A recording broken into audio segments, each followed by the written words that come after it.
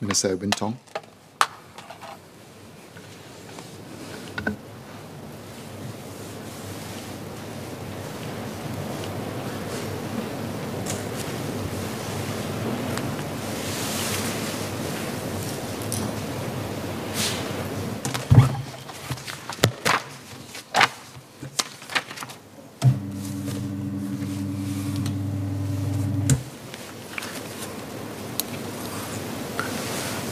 Mr. Speaker, sir, I thank all the members who have spoken in support of the bill. Before I go into addressing the specific queries raised by members, let me just make three broad points.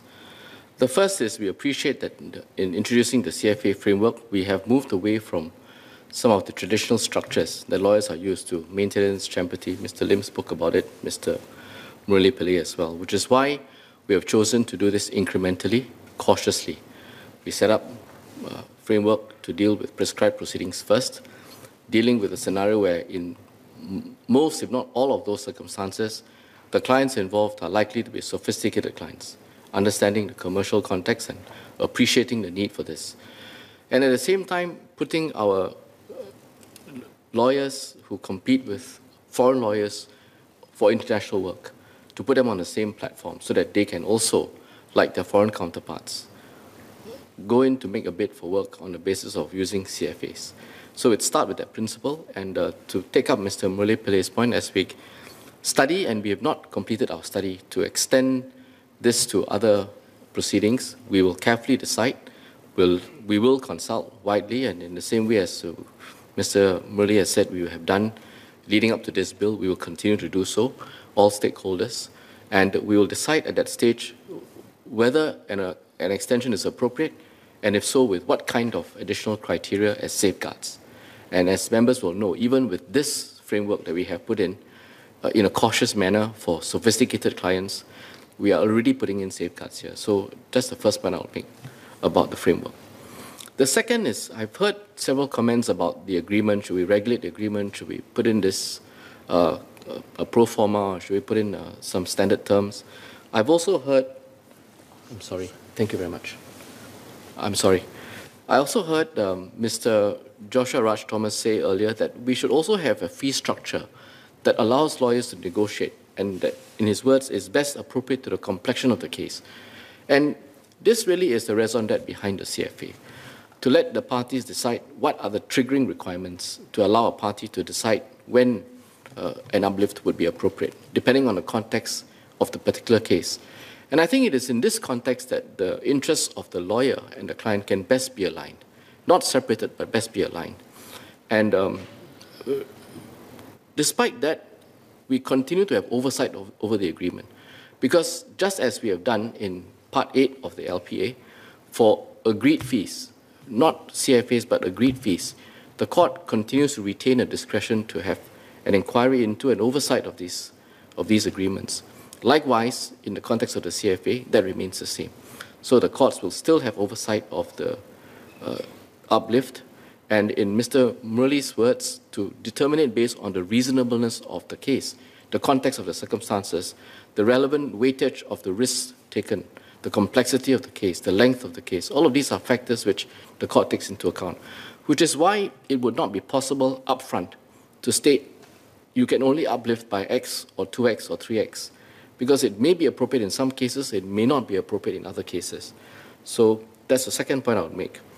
The third point I'll make is throughout uh, the member speeches, I've heard that uh, because this is a new advent, a new development in our in our framework, we should be giving guidance. Certainly, I think we've committed to doing so upfront. That's the reason why we've, we've consulted extensively, both open as well as closed, and we will continue to do so and work with Law Society to ensure that lawyers and users alike, clients, are familiar with the, the framework and as far as we can provide guidance which doesn't tie the hands of solicitors as they negotiate these CFAs, but at the same time give guidance as to what the framework requires of the CFAs.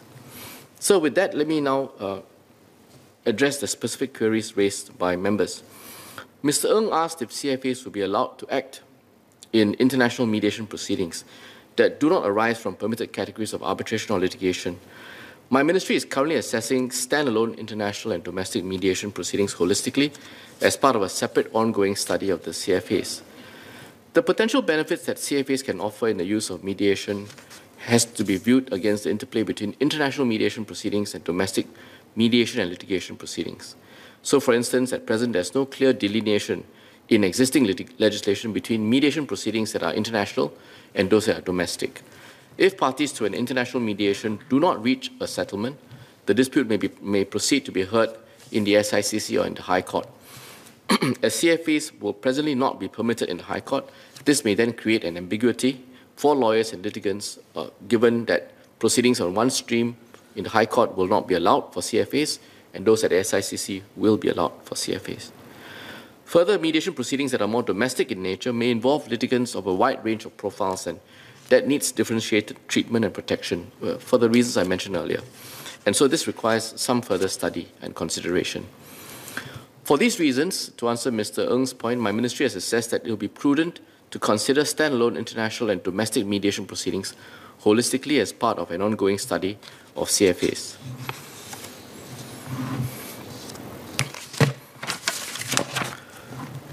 Second, Mr. Ng asked how the CFA framework will take into account cases that are commenced in one forum and then transferred to another, and whether it is possible that a case may be commenced in a forum where CFAs are permitted and then transferred to another forum where CFAs are not permitted. The answer to this is as follows. Where proceedings are transferred between two fora in which CFAs are allowed, for instance, from arbitration to related court or mediation proceedings, then obviously the CFAs will continue to continue in, the in the case of the solicitor and the client. So CFAs will be allowed in those circumstances. Generally, otherwise, CFAs are not permitted in cases which are transferred from or to a forum where CFAs are not permitted. So in the particular example that Mr. Ng highlighted about High Court and the SICC, for the time being, CFAs will not be permitted for proceedings that are transferred from the High Court to the SICC and vice versa. We will study this further and consider whether we should change this, but as a starting point, under this framework, as long as one of the part, one of the proceedings, either from which it is transferred or to which it is transferred, does not allow the CFA, then a CFA will not be allowed.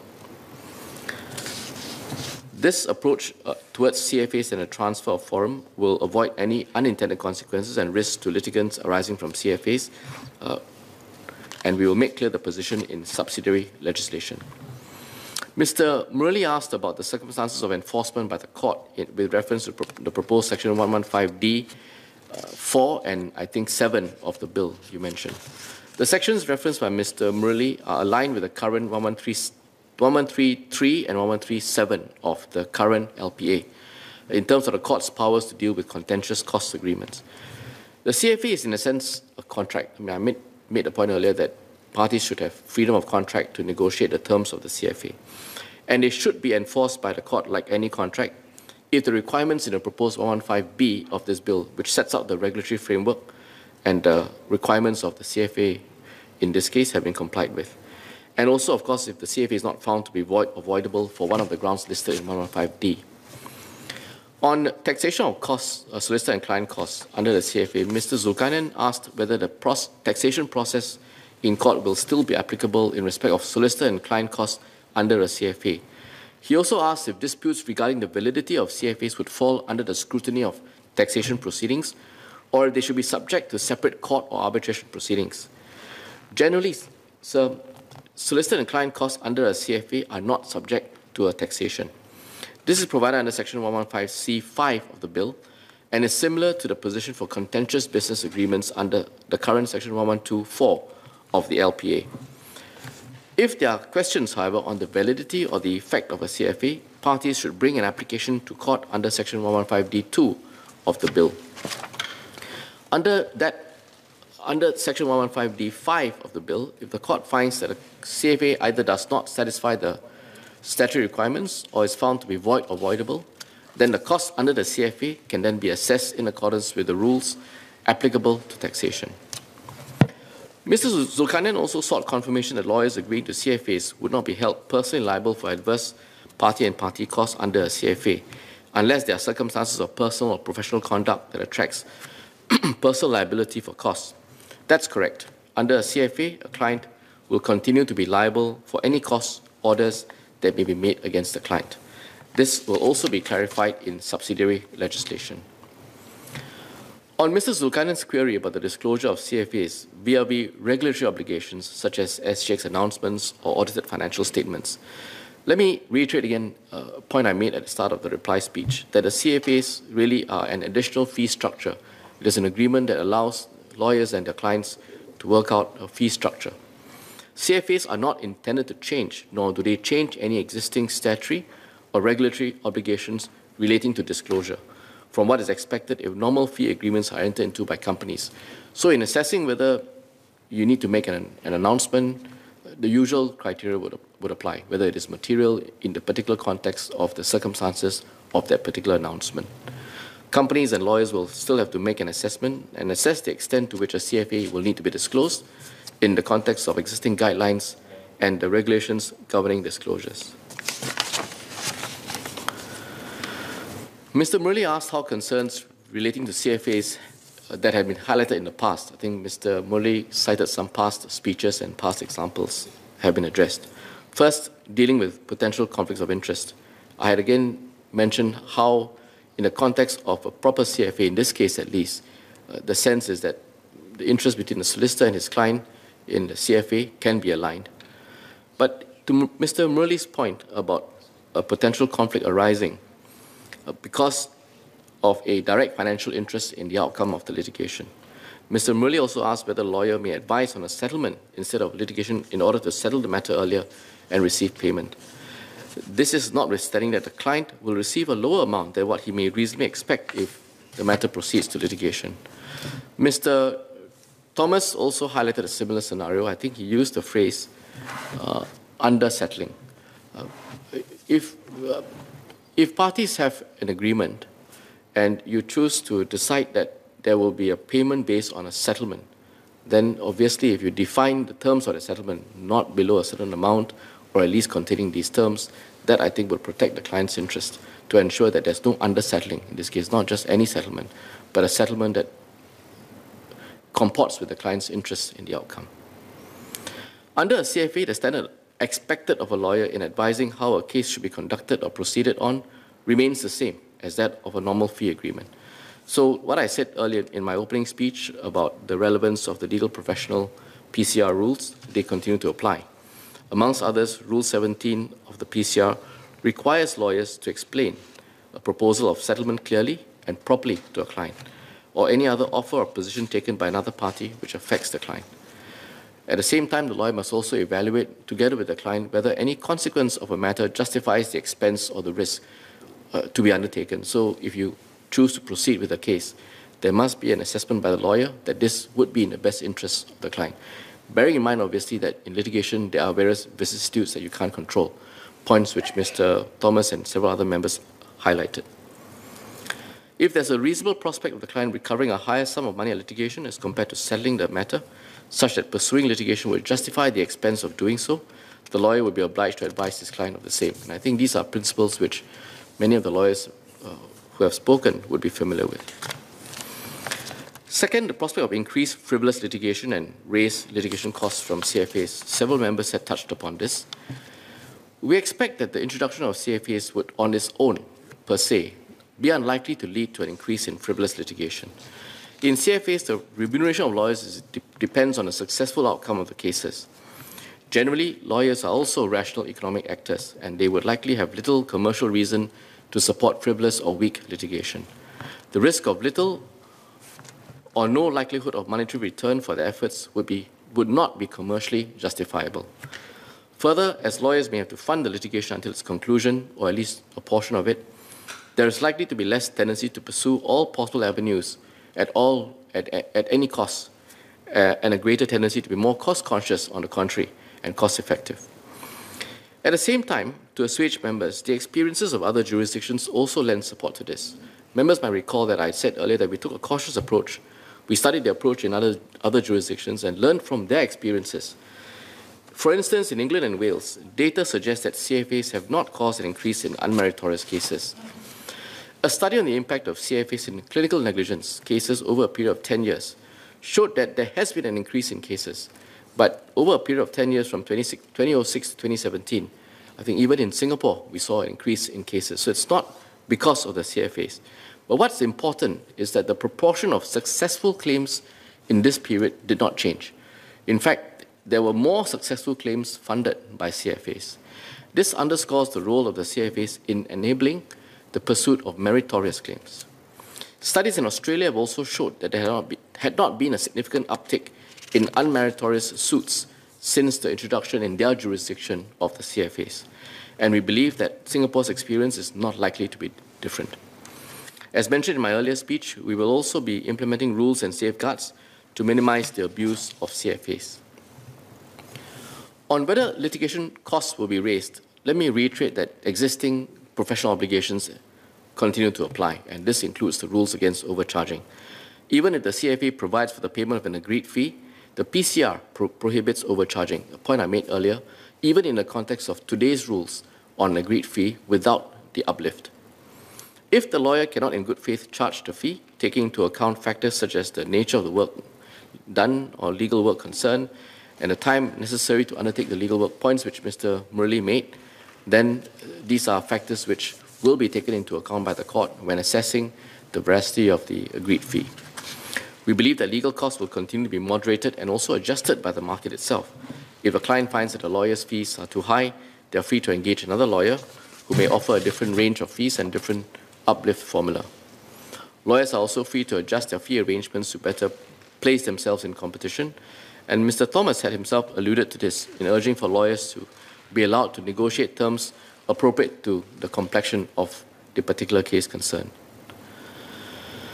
Mr. Murali asked what would constitute a fair amount for lawyers to charge as an uplift so that this would not be viewed as a case of overcharging. I think I covered this in my initial remarks, and I think what we want to do is to say that uh, we don't proscribe how parties may choose to structure their fee arrangement, the CFAs, but at the same time have oversight by reasons set out in the framework with requirements that they must fulfill, uh, including the cooling off period, including the fact that this, them, it must be in writing, and also ensuring that parties do not agree a fee that is based on a proportion of the returns uh, from damages or otherwise in the case itself, which then has no correlation to the effort by lawyers.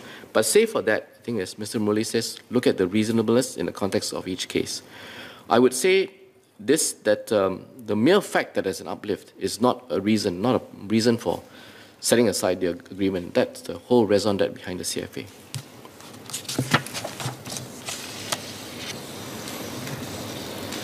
I would add a further point that uh, when you have limit on uplift fees in other jurisdictions, they are typically legislated because the fee arrangement in those jurisdictions extend to access to justice type of litigants.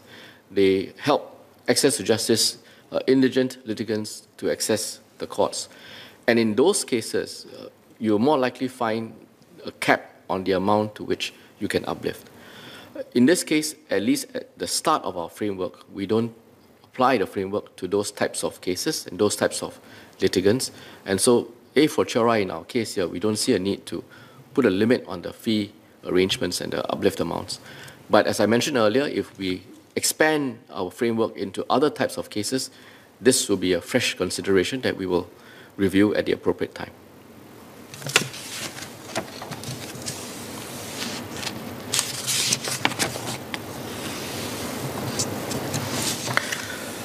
Mr. Zhulkarnain asked uh, about other protection mechanisms for litigants and what safeguards are available for a litigant who has entered into a CFA with a lawyer and thereafter changes lawyers or whose lawyer decides to withdraw from the case.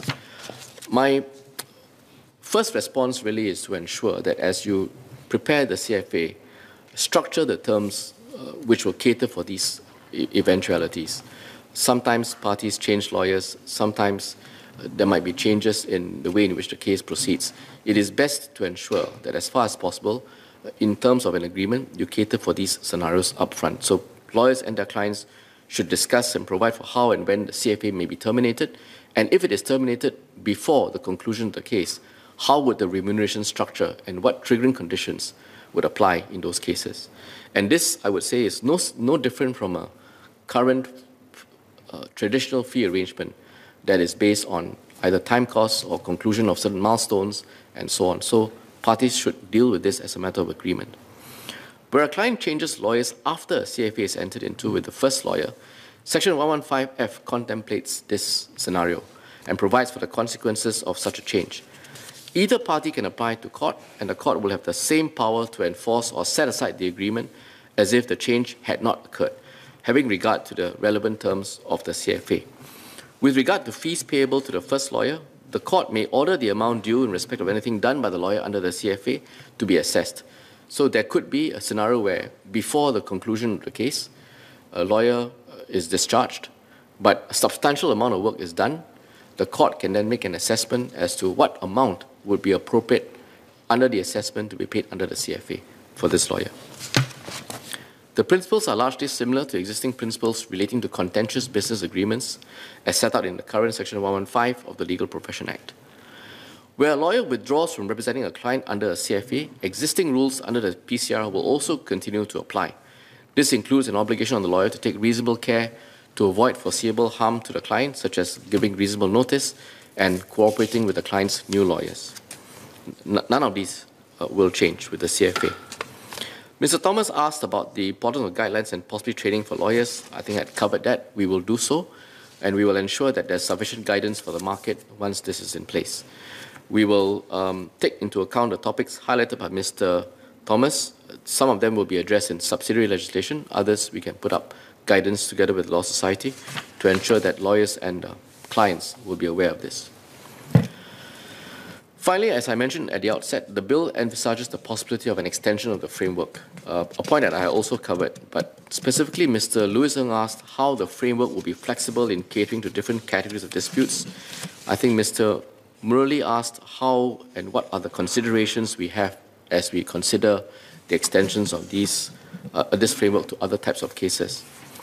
So the overarching CFA framework has been designed with the flexibility to, en to enable the framework to be expanded incrementally, step by step after we study and we take into account views by stakeholders. The main tenets of the CFA framework will be set out and have been set out in this bill, supplemented by safeguards to be prescribed under subsidiary legislation. The categories of proceedings permitted by the CFA framework will also be set out in the subsidiary legislation. And we took this approach as we anticipated that the profile of litigants would be different for different categories of proceedings and different types of cases, and hence differentiated and targeted safeguards will be required. There will be flexibility to appropriately adjust the safeguards as we continue to monitor and refine the framework. Mr. Pillai's, to Mr. Pillai's point about the principal considerations and whether the same level of public consultation will be undertaken, the answer is yes, there will be. The difference in terms of where we are now today on the current framework and where we may expand it to. For lawyers, obviously, when you deal with and compete on the international fora with other foreign lawyers, we want to put our lawyers on the same footing. That may not apply in the context of domestic proceedings. For domestic proceedings, the main consideration now would be whether we can allow this so that there will be an enhancement to the access to justice. And those are the principal considerations. There may be more as we consult, but these are the driving considerations. Uh, and we will consult with key stakeholders uh, as we look at the landscape and determine whether it will be appropriate to extend this framework to also other types of cases to promote access to justice. In doing so, we will study also the profile of the likely litigants who will avail themselves of any such expansion and determine in those cases whether some additional form of protection might be necessary for the framework, and if so, we will also prescribe that. Finally, let me address Mr. Thomas's observations on after the event insurance and its correlation to CFAs, particularly in other jurisdictions. Let me thank Mr. Thomas for his views and interest on the subject. The, my ministry is aware of the developments uh, outlined by Mr. Thomas, and we will review these developments as part of the holistic study of the litigation funding landscape. I would add that after uh, event insurance is not peculiar only to and not relevant only to CFAs. Uh, they are relevant across the board and uh, generally supplement and support the litigation funding landscape. So we'll study the after event insurance in that context and look at whether or not any moves need to be made on that front. So I believe I've covered uh, all the queries raised by members, both general as well as specific. My ministry, as I said, will continue to re review the, the reforms proposed in this bill uh, for future expansion and what other safeguards would be necessary. But we believe that the introduction of a CFA framework in this form has the potential to bring multifaceted benefits. It provides a further avenue for litigants to pursue meritorious claims and levels the playing field for our lawyers, particularly on the international setting. It will also signal Singapore's progressiveness and our responsiveness to the needs and the realities of the industry, and further enhance Singapore's status as a premier first-class dispute resolution hub. We will at the same time continue to monitor the impact of the various reforms, keeping our finger on the pulse of developments and lessons learned in other jurisdictions, and apply them contextually to Singapore. I assure members that we will continue to stay responsive and engage in active dialogue amongst all stakeholders as we study the progress of our initial framework and look at the extent to which this might be extended to other proceedings. So with that, I beg to move. Any clarifications?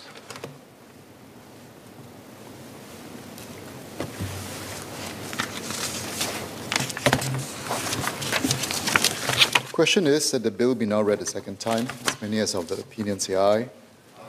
To the contrary, say no. I think the ayes have it. The ayes have it. Committee stage, Legal. what day? I'm sorry. Clerk. Legal Profession Amendment Bill. Committee stage, what day? Now, sir, I beg to move that Parliament will immediately resolve itself into a committee on the bill. The question is that Parliament will immediately resolve itself into a committee on the bill. As many as have the opinion say aye. Aye. To the contrary, say no. I think the ayes have it. The ayes have it.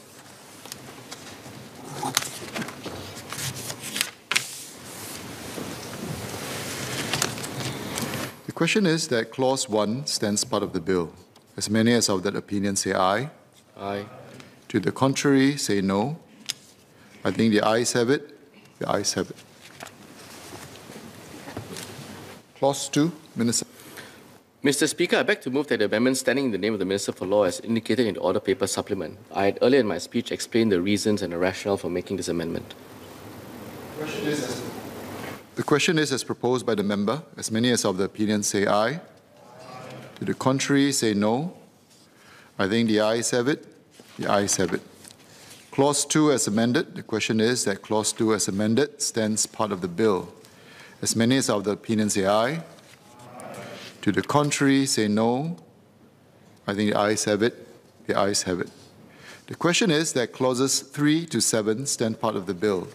As many as of that opinion say aye. Aye. To the contrary, say no. I think the ayes have it. The ayes have it. Bill to be reported. Minister for Law. Mr. Speaker, I beg to report that the bill has been considered in committee and agreed to with amendment. Third reading, what day? Now, sir, I beg to move that the bill be now read a third time. The question is that the bill be now read a third time. As many as of of that opinion say aye. Aye. To the contrary, say no. I think the ayes have it. The ayes have it. Legal Profession Amendment Bill.